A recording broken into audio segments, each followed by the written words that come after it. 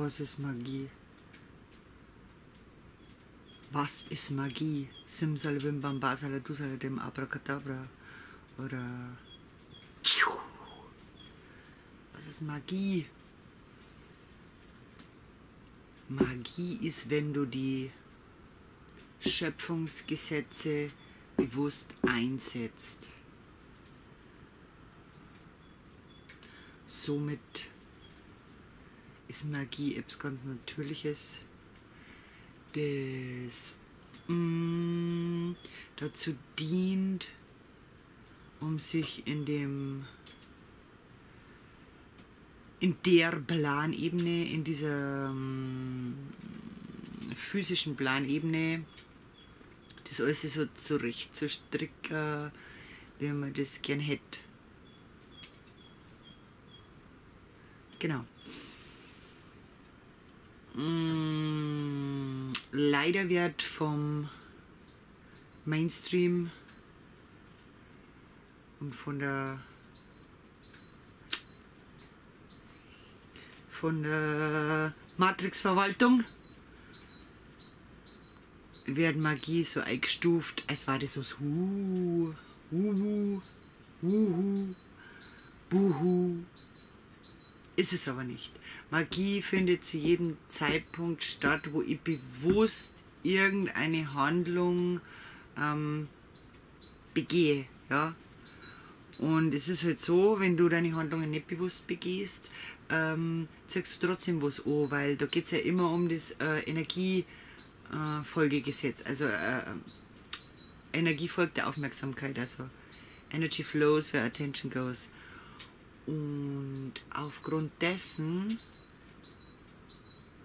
bringst du ja sowieso immer das zum Ausdruck, was in dir drin gerade aktiv brodelt oder am Start ist oder als nächste Aufgabe ist oder, oder unerfüllt ist, wie auch immer, ja. Oder deine Ängste auch ganz gern. Also man bringt ja sowieso immer das zum Ausdruck, was innen drin ist. Und, und, und warum soll es mir als Schöpferwesen nicht erlaubt sein?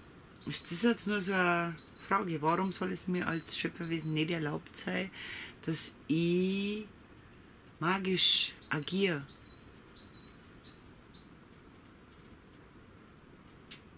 Das wird in der Spirit-Szene, die mir so bekannt ist, also nicht in der Spirit-Szene, sondern in, in, in die Spirit-Gesetze, sage ich jetzt einmal so, die Restrictions, da wird das ja gar nicht so gern gesehen, diese Sache von Magie und von, von eigenem Willen, du hast dann auch gern einmal, ähm, wir haben, haben wir eigentlich einen freien Willen, du hast dann wieder, du selbst, wenn ich in höchster Instanz keinen freien Willen habe, was ich nicht glaube, weil auch gerade in höchster Instanz glaube ich, dass ich einen freien Willen habe und mir das alles ausgesagt habe, damit ich da was lerne.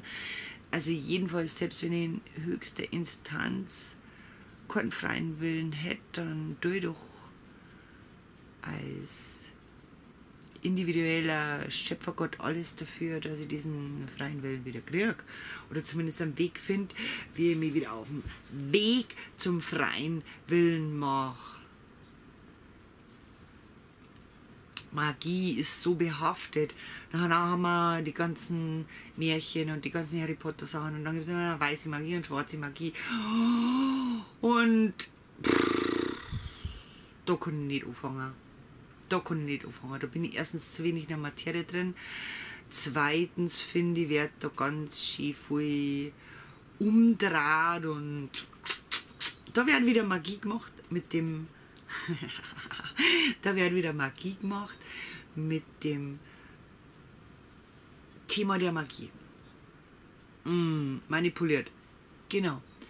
Also für mich ist Magie was, was immer passiert. Für mich ist tatsächlich dieses menschliche Leben Magie an sich, weil wenn man sich das genauer anschaut und seinen Fokus erweitert und nicht mehr mit dem UFO ins Gebirge schaut, dann wird man erkennen, dass es so viele Entwicklungsmöglichkeiten gibt. In jede Richtung. In jede, jegliche Richtung. Und dann möchte ich gleich noch eins draufpacken, weil wir gerade so dabei sind mit der Magie. Mm, ich rede ja viel über Inkarnation und Reinkarnation und so Geschichten.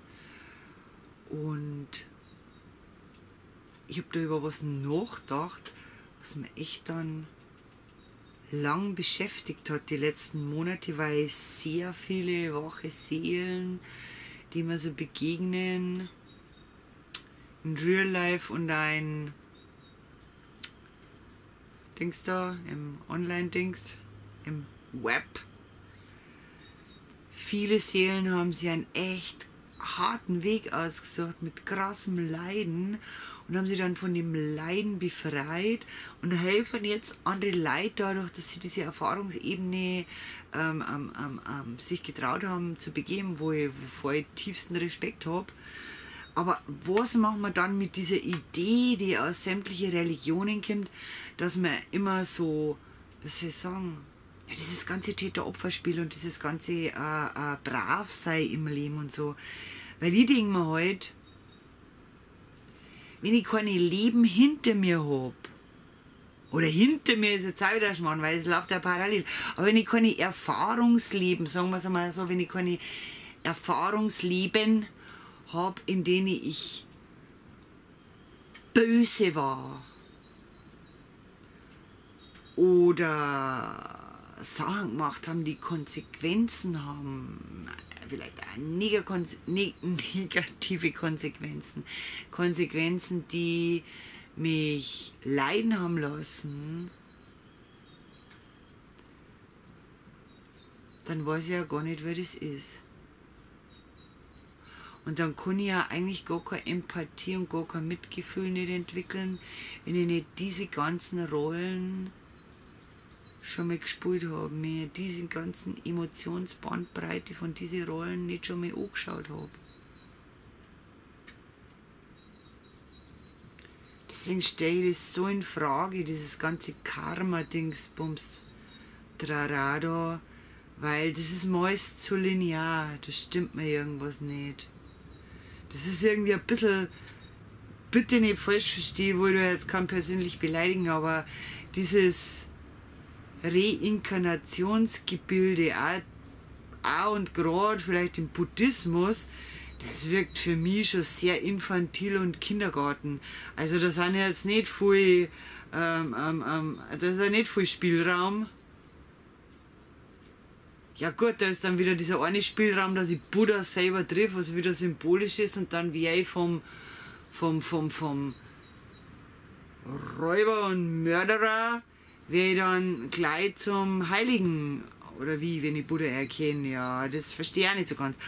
Äh, diese eine Möglichkeit besteht. Ansonsten habe ich da im Buddhismus echt einen langen Weg vor mir, vom Stor bis hin zum, was ist wieder das Allerhöchste, fragt sie hier, gell? Ähm, Wird es wohl wieder der männliche spirituell Gelehrte sein am Ende? Mhm. Ja, das sind so meine Gedanken zur Magie und zu dem, was uns so drüber erzählt wird. Und don't let you get scared about magical life. Life is magic. Also lass dir da echt keine Angst machen. Kannst dich ruhig damit beschäftigen das ist gesund. Wenn man sich da damit einmal nicht beschäftigt hat, zumindest in irgendeiner Inkarnation, dann hat man keine Ahnung, was auf der Planebene da los ist, weil das ist getarnt als, ähm, ja, das ist, würde jetzt mal sagen, das ist getarnt als Amish Community und in Wahrheit ist es ein, ein High-End Science-Fiction Computerspiel. Äh, ja. Servus.